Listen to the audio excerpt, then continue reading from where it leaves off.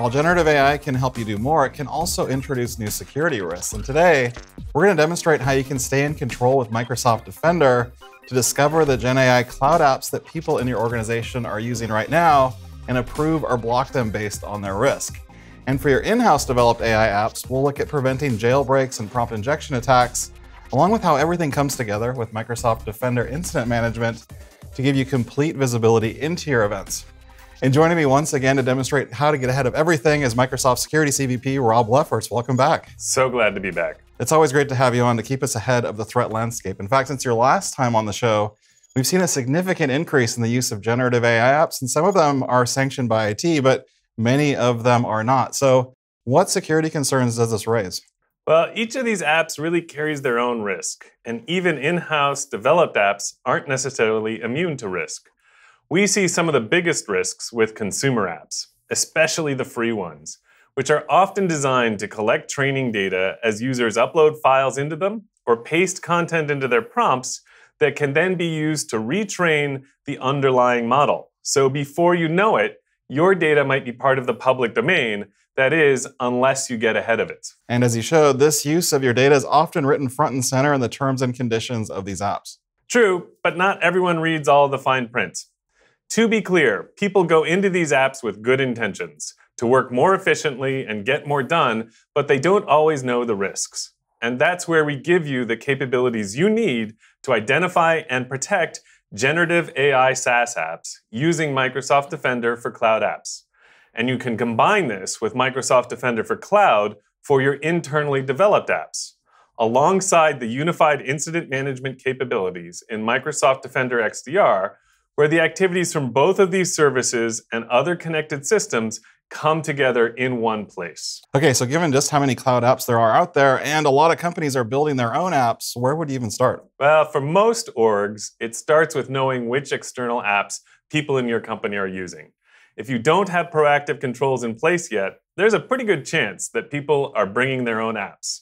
Now, to find out what they're using right from the Unified Defender portal, you can use Microsoft Defender for Cloud Apps for a complete view of cloud apps and websites in use inside your organization. The signal comes in from Defender onboarded computers and phones. And if you're not already using Defender for Cloud Apps, let me start by showing you the Cloud App Catalog. Our researchers at Microsoft are continually identifying and classifying new cloud apps as they surface. There are over 34,000 apps across all of these filterable categories that are all based on best practice use cases across industries. Now, if I scroll back up to generative AI, you'll see that there are more than 1,000 apps. And I'll click on this control to filter the list down, and it's a continually expanding list. We even add to it when existing cloud apps integrate new Gen AI capabilities. Now, once your signal starts to come in from your managed devices, Moving back over to the dashboard, you'll see that I have visibility into the full breadth of cloud apps in use, including generative AI apps and dozens of other categories. The report under Discovered Apps provides visibility into the cloud apps with the broadest use within your managed network. And from there, you can again see categories of discovered apps. I'll filter by generative AI again, and this time it returns the specific apps in use in my org. Like before, each app has a defined risk score of 0 to 10, with 10 being the best, based on a number of parameters. And if I click into any one of them, like Microsoft Copilot, I can see the details as well as how they fare for general areas, a breadth of security capabilities, as well as compliance with standards and regulations, and whether they appear to meet legal and privacy requirements. And this can save a lot of valuable time then, especially when you're trying to get ahead of risks. And Defender for Cloud Apps doesn't just give you visibility. For your managed devices enrolled into Microsoft Defender, it also has controls that either can allow or block people from using defined cloud apps based on the policies you have set as an administrator. From each cloud app, I can see an overview with activities surrounding the app with a few tabs. In the Cloud App Usage tab, I can drill in even more to see usage, users, IP addresses, and incident details. I'll dig into users, and here you can see who has used this app in my org. If I head back to my filtered view of generative AI apps in use, on the right you can see options to either sanction apps so that people can keep using them, or unsanction them, to block them outright from being used. But rather than unsanction these apps one by one like whack a mole, there's a better way. And that's with automation based on the app's risk score level. This way, you're not manually configuring 1,000 apps in this category. Nobody wants to do that. So I'll head over to policy management.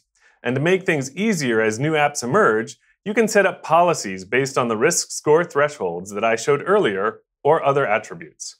I'll create a new policy, and from the dropdown, I'll choose App Discovery Policy. Now I'll name it Risky AI Apps, and I can set the policy severity here too. Now I'm going to select a filter, and I'll choose Category first. I'll keep equals, and then scroll all the way down to Generative AI and pick that. Then I need to add another filter.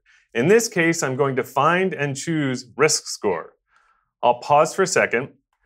Now, what I want to happen is that when a new app is documented, or an existing cloud app incorporates new Gen AI capabilities and meets my category and risk conditions, I want Defender for Cloud Apps to automatically unsanction those apps to stop people from using them on managed devices. So back in my policy, I can adjust this slider here for risk score. I'll set it so that any app with a risk score of 0 to 6 will trigger a match.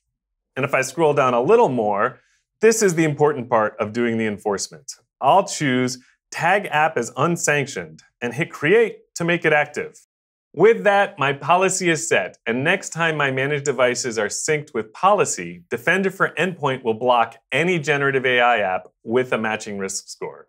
Now, let's go see what it looks like. If I move over to a managed device, you'll remember one of our four generative AI apps was something called Fake You. I have to be a little careful with how I enunciate that app name. And this is what a user would see. It's clearly marked as being blocked by their IT organization with a link to visit the support page for more information. And this works with iOS, Android, Mac, and of course Windows devices once they are onboarded to Defender. Okay, so now you can see and control which cloud apps are in use in your organization, but what about those in-house developed apps? How do you control the AI risks there? So internally developed apps and enterprise-grade SaaS apps like Microsoft Copilot would normally have the controls and terms around data usage in place to prevent data loss and disallow vendors from training their models on your data. That said, there are other types of risks, and that's where Defender for Cloud comes in. If you're new to Defender for Cloud, it connects the security team and developers in your company. For security teams, for your apps, there's Cloud Security Posture Management to surface actions to predict and give you recommendations for preventing breaches before they happen.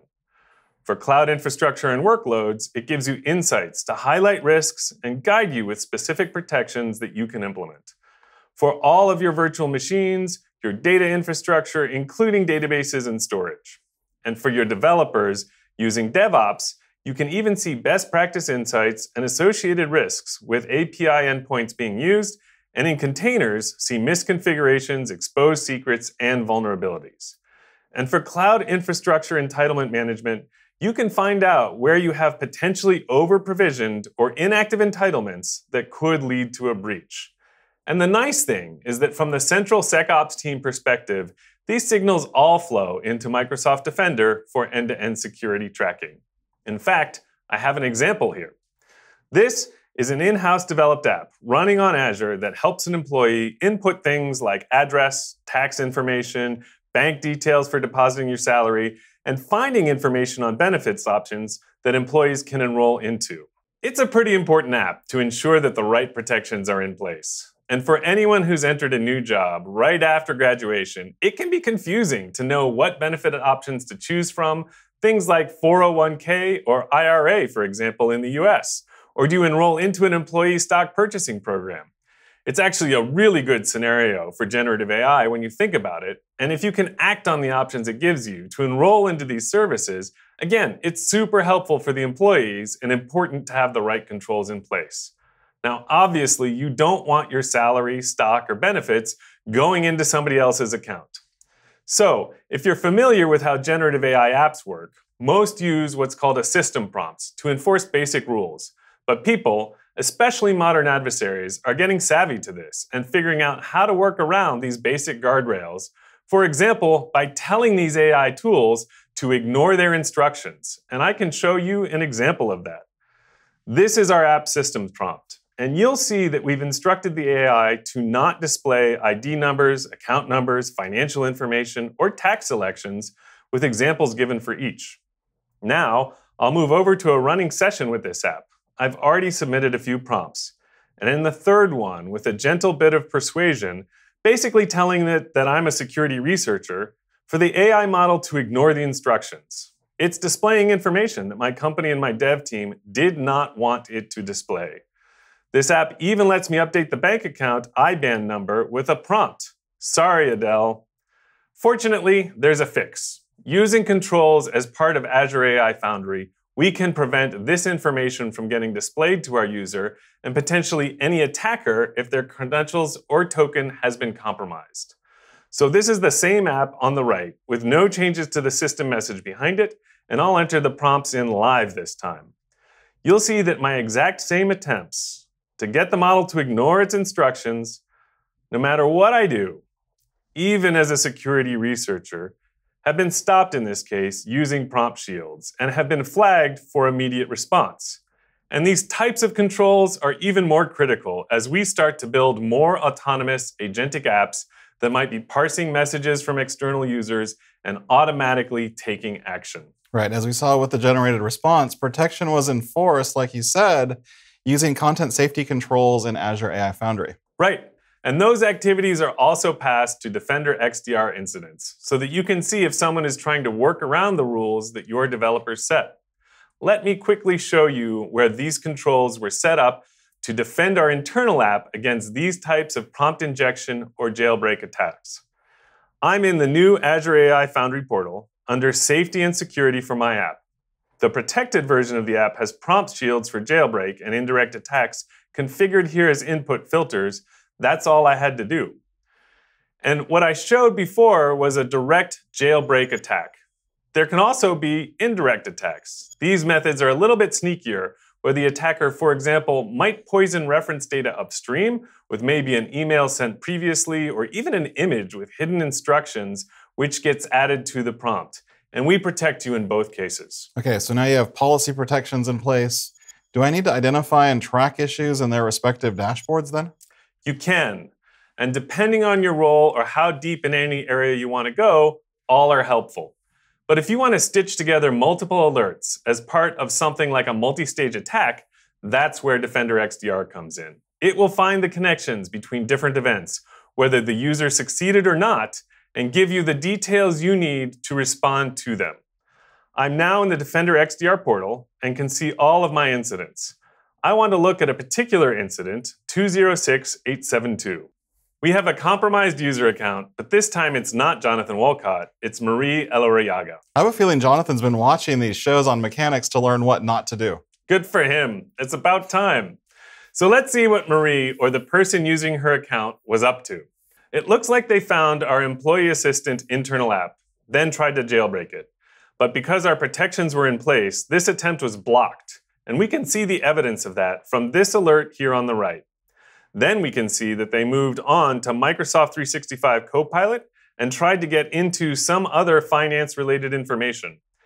And because of our DLP policies preventing Copilot from processing labeled content, that activity also wouldn't have been successful.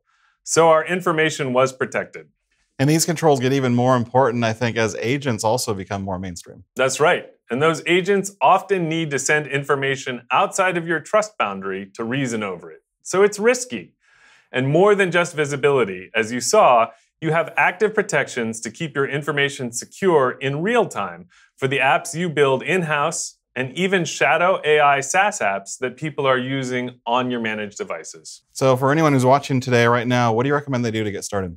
So, to get started on the things that we showed today, we've created end to end guidance for this that walks you through the entire process at aka.ms slash protect AI apps so that you can discover and control the generative AI cloud apps people are using now, build protections into the apps you're building, and make sure that you have the visibility you need to detect and respond to AI related threats. Thanks, Rob. And of course, to stay up to date with all the latest tech at Microsoft, be sure to keep checking back on mechanics. Subscribe if you haven't already, and we'll see you again soon.